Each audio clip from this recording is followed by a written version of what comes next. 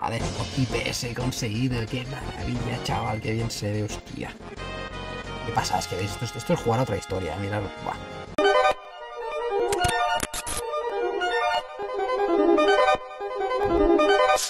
China, Brazil, India, Spain, Thailand, USA, USSR, Japan. Buena familia SW, bienvenidos de nuevo a mi canal. Os traigo un vídeo esta vez de una modificación, una especie de tutorial de esos que no suelo traer mucho. Pero en este caso la ocasión lo merece. Se trata de una modificación de las más comunes que hay, que se trata de instalarle simplemente a una Game Boy Pocket la pantalla IPS. ¿Y dónde me surge esta idea? Pues los que me seguís. Lo habréis visto en mis últimos vídeos que me pillé en Japón un paquetito con esta Game Boy Lite. Esta Game Boy Lite es un modelo exclusivo retroiluminado que solo salió en Japón. Yo no soy mucho tampoco de conservar las cosas, pero en este caso me da un poquito de rollo jugar y utilizar así como consola de batalla esta Game Boy Lite.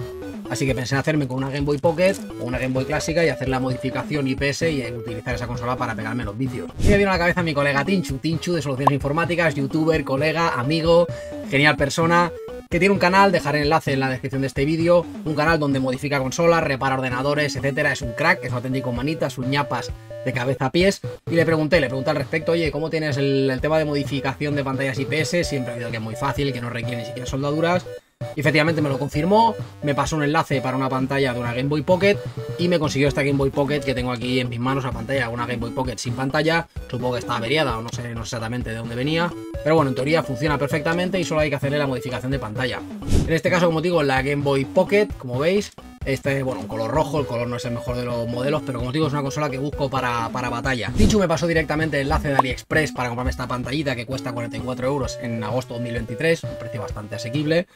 Y la reinstalación es muy sencilla, parece que no requiere ni siquiera soldaduras. En este caso, por eso sí que requiere un punto para el control del brillo, pero igual es opcional, no lo sé. En mi caso lo voy a intentar soldar. Y bueno, quería que me acompañarais en esta andadura, en esta pequeña modificación súper sencilla y súper común. Pero que bueno, muchos de vosotros igual tenéis la misma inquietud que yo, queréis una consola de batalla para poner los en, una plataforma original y que se ve mucho mejor, así que os invito a que me acompañéis en este vídeo. Antes de empezar con el trapicheo en sí, una pantalla IPS tiene multitud de ventajas, por propia definición su abreviatura es Impline Switching, o de variación de plano, esa pantalla que cuenta con un panel LCD y que está formado por diferentes cristales dispuestos de forma paralela. Entre sus principales ventajas destaca que tienen un mejor ángulo de visión, es decir, llegan a ofrecer hasta un 168% de visión tanto horizontal como vertical. Eso permite pues mirarlo desde cualquier lado, aparte de la retroiluminación. En el resto de Game Boys, incluso en la Game Boy Light que os he enseñado, la retroiluminación es algo cutre, porque es de la época, claro, es una retroiluminación primigenia en la que, bueno, tenemos una luz detrás, pero no acaba de ser nítido, nítido, y con las IPS veréis que la iluminación es perfecta. Así que nada más, voy a cambiar a la cámara superior, vamos a abrir primero este paquetito, a ver qué lleva, qué contiene este, este ítem, y vamos a vamos manos a la obra, venga, acompañarme. Aquí tenemos la Game Boy Light y la Game Boy Pocket, como veis son prácticamente iguales, la Game Boy Light es igual un centímetro más alta, la voy a dejar por aquí apartada. Y bueno, ahora vamos a abrir primero la caja de, de este paquetito, ¿vale? A ver qué, a ver qué viene.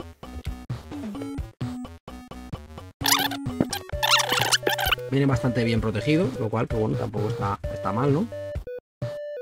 Vale, incluye, pues como veis, la pantalla en sí, lo que es el circuito impreso que conectaremos detrás, el cable de soldadura que os estoy diciendo que tenemos que conectar para el control de brillo y esta es la, la pantalla adhesivo que sustituirá a esta pantalla de Game Boy Pocket que teníamos ya, ya puesta, ¿vale? Vamos a pasar al tutorial, lo vamos así juntos en pantalla e intentamos seguir los pasos a ver si, a ver si lo conseguimos sin acabar, sin acabar, sin morir en el intento.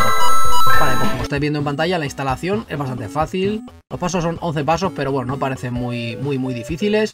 En este caso, el primero pues es quitar la parte trasera de la, de la Game Boy Pocket. Ya os lo dije también en otro vídeo cuando modifiqué la Game Boy Light. De hecho, la tiré para atrás porque estaba overclockeada. Eh, lo ideal es tener este, este tornavis especial, pero en el caso de que no lo tengáis también se puede hacer con un tornavis plano muy chiquitito, que es mi caso, eh, apretándolo bastante fuerte y haciendo el primer clic ya salen solo, así que vamos a, vamos a ello, a ver si lo conseguimos. La idea de meterlo, eso os digo, entre dos de las hendiduras, que quede prácticamente plano, apretar bastante fuerte y veis ya sale, sale bastante fácil. ¿eh? Vale, veis así, esto es una, es una especie de, de hélice. Entonces lo clavamos así entre las dos y con esto ya, ya gira, ¿vale? Hace bastante fuerza.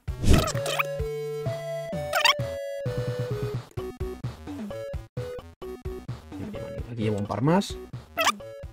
Como veis así, los tornillos no se pasan ni, ni en absoluto. Y el alternativo, pues es hacer, si, si os vais a dedicar mucho a esto, tenéis intención de hacer más de una, Hoy en día estos destornilladores se encuentran por cuatro chavos en, en Amazon o en cualquier otra plataforma de que tenga este tipo de material. Pero bueno, en mi caso, como tampoco me voy a dedicar, con esto me vale, pero tampoco se, se, se castigan para nada los tornillos. Es algo bastante, bastante limpio. Así que bueno. Vale, primer paso está claro. Nos dice que quitemos el strip de aquí arriba, que en este caso ya no lo tiene porque no tiene pantalla. Eh, le sacamos la. le damos la vuelta y la sacamos. Para ello, pues tenemos que quitar un tornillo más que hay aquí. Y otro en medio. Son de los tres iguales, aquí otro, y yo creo que ya no hay nada más. El siguiente paso parece que es quitar la pantalla original. Voy a sacarla, se saca bastante fácil, parece. Empujando simplemente sale. Y no está muy bien adherida. Quería comparar qué diferencia había con la que ellos envían, pero la verdad es que es idéntica. Yo siempre soy partidario de utilizar la- las- lo- los temas originales, o sea que bueno, lo veremos. Y después aquí en el paso 3 nos indica también quitar la pantalla y recortar la parte roja.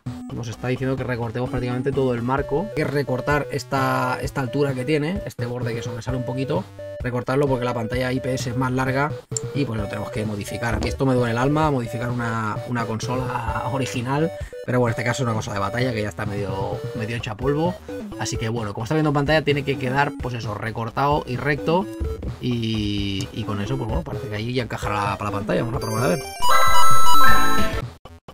Es un plástico blande- blandito, ¿eh? también os lo digo que no. Yo estoy probando con un cúter directamente a fuerza y, se está cortando, o sea que yo creo que no, debería costar demasiado. Estoy intentando seguir un poquito lo que nos está diciendo, ¿vale? Lo que hay que cortar es toda esta zona. Me da un poquito de miedo no hacerme daño y cortarme con el cúter, pero y lo que vamos a hacer es dejarle lo que es en, ve- en vertical un poquito más un poquito más de, altura porque la, la- la pantalla debe ir así entiendo. Y necesitamos que toda la pantalla pues quepa, quepa ahí.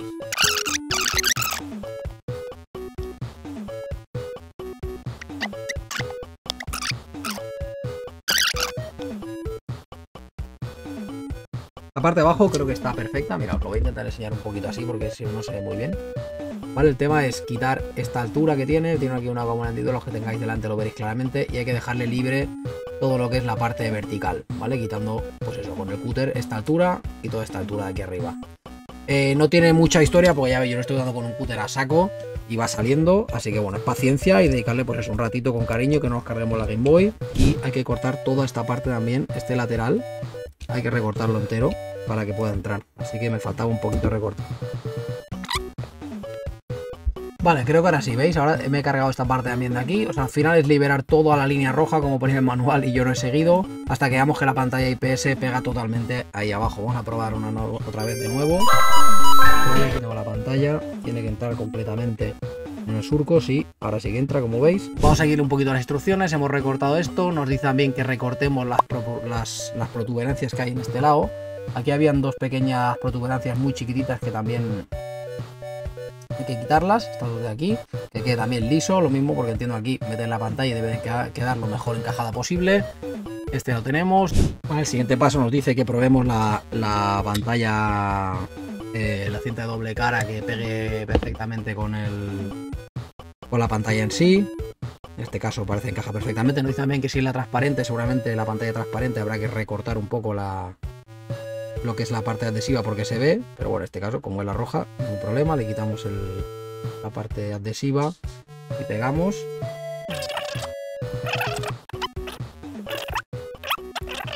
Vale, sigamos un poquito con el tutorial. Nos dice, pantalla está lista para ser instalada. Vale, el siguiente paso es poner la pantalla adhesiva aquí alrededor del marco para que pegue, para que quede pegada. Así que vamos, manos a la obra. Nos dice aquí que quitemos primero la, la pantalla protectora. Y efectivamente, pues eso, la pantalla va, como os he dicho, esta es la parte inferior. La parte inferior izquierda eh, es esta, la que tiene la pieza. La pieza de conexión que se dobla y engancha con la placa, con el circuito impreso que luego tendremos. Así que lo que tenemos que quitar es esta, este, esta pantalla protectora. He leído también críticas en las que dicen que es bastante común que, que tengamos que estar poniendo y quitando el, la pantalla hasta encontrar la posición correcta porque se ve un poco torcida, perdemos parte de la imagen, no sé qué, bueno, estas típicas cosas que siempre pasan, ¿no? Esto no sé si nos habla de garantía o qué, sí. sé qué será garantía, lo quito. Vale, que nos indica que lo pegamos en la parte superior izquierda al máximo, que es lo que, lo que he hecho yo. Así que podemos seguir a la siguiente fase. Vale, aquí nos dice ya que montemos el cable ribbon y los botones y conectemos a la placa base, ¿vale? Vamos a poner los botones y demás. Tal y como estaban, los botones son bastante fáciles, como veis tienen las muescas otra vez para, para devolverlo a su posición original.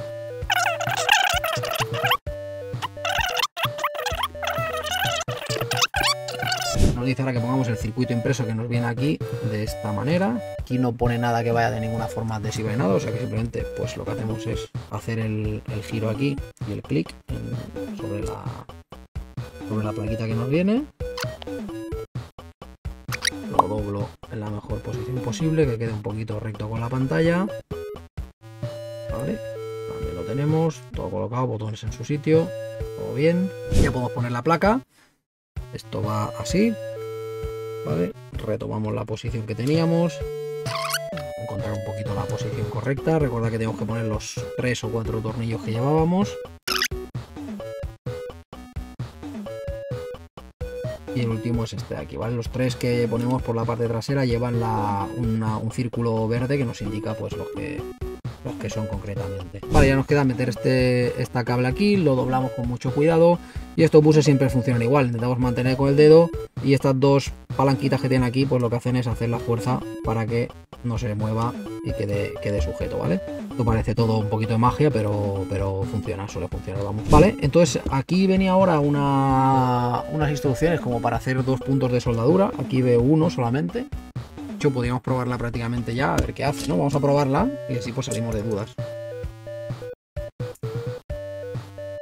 Vale, efectivamente localiza las pilas. Voy a ver si se enciende. Se enciende la luz roja, pero no se enciende nada. Yo creo que la soldadura se hace falta, así que no lo liamos más y vamos a por ella, va. Yo soy bastante malo soldando, la soldadura a priori parece bastante sencilla, así que vamos a probarlo sin, sin mucho miramiento. Aquí tengo el soldador de mi padre, lo voy a poner a calentar. Vale, el soldador, bueno, pues eso, la idea es estañar un poquito las puntas de este cablecito tan fino que nos han enviado. Aquí y nada, utilizar una y llevar un punto al, al punto de power, que es el que nos indica en el, en el manual también, como estáis viendo en pantalla. Eh, básicamente es atarlo al- a la pata de abajo, la primera pata que encontramos. Aquí tengo el estaño y la idea será primero pues estañar un poquito el cable cuando esté caliente el soldador y con eso pues probaremos a ver. Estañar un poquito el cable. Vale.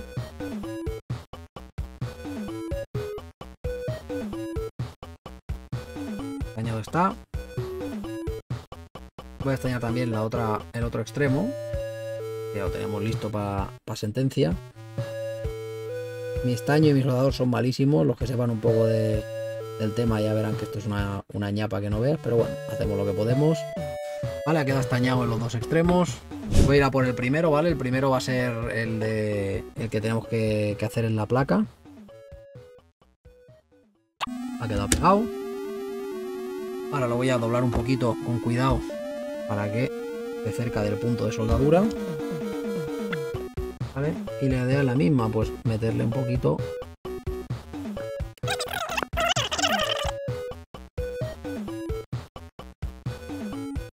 ¿Vale? Yo creo que lo tengo, creo que lo tengo. No voy a apagar el soldador porque quiero hacer una prueba así en vivo antes de, antes de nada. Vamos a esperar a que seque un poquito más.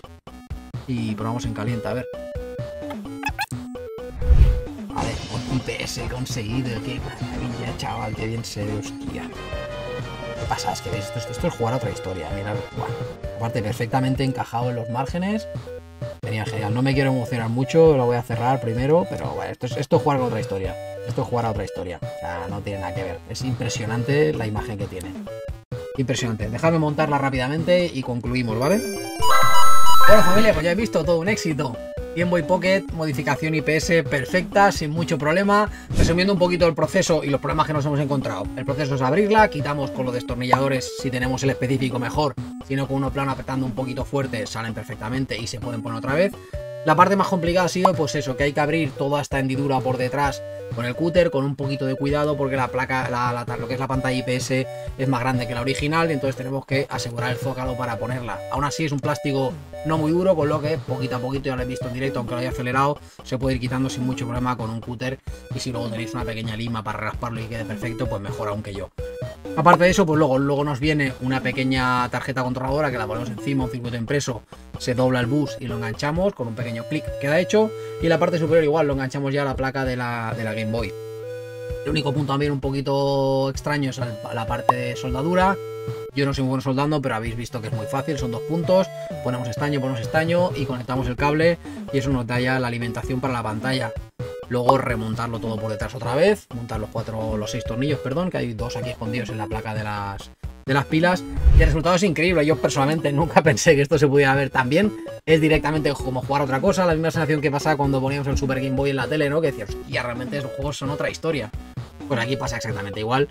Y por 40 pavos nos pegamos, nos pegamos unos vicios que, alucinas en una plataforma original, ¿no? Que es un poquito lo que, lo que a mí me llama. Así que nada, familia, espero que os haya molado este vídeo tutorial, algo diferente de lo que suelo hacer. Pero bueno, es una idea muy guapa para los que os mole Game Boy y queráis tener una pues, para jugar. Creo que es una muy buena solución por 40 pavos más una Game Boy que podéis coger incluso una sin pantalla como esta que me ha conseguido mi colega Tinchu. Desde aquí darle las gracias a, a Tinchu de nuevo. Os dejaré el enlace a su canal en la descripción. Gracias por haberme pasado pues, el chivatazo del, enlace de esta pantalla que por 44 euros en agosto de 2023 me parece un regalo. Y aparte de eso, pues por conseguirme esta, esta Game Boy Pocket. Ya me os dejo porque tengo las ganas de pegarme un vicio que flipas. Y nada familia, nos vemos en la próxima. Un saludo.